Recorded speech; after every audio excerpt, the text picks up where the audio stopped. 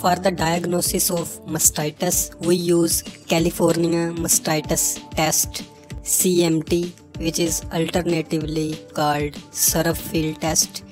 It is a detergent based test, a surf which contain alkyl aryl sulfonate, sodium hydroxide or bromocresol purple can be used. This test has total 5 steps the first step is to discard first stream of milk while taking a sample for the test.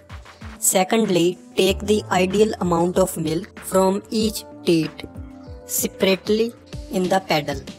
Then add milk and syrup in a certain proportion of 1 ratio 1 equally.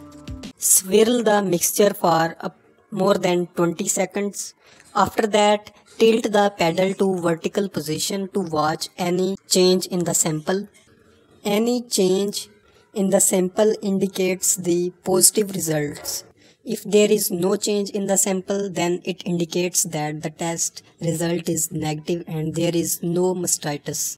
Remember, while taking the sample, collect the milk of each teat in a separate bowl and grade them as 1, 2, 3, 4 so that we can easily identify which teat is infected and which is healthy one.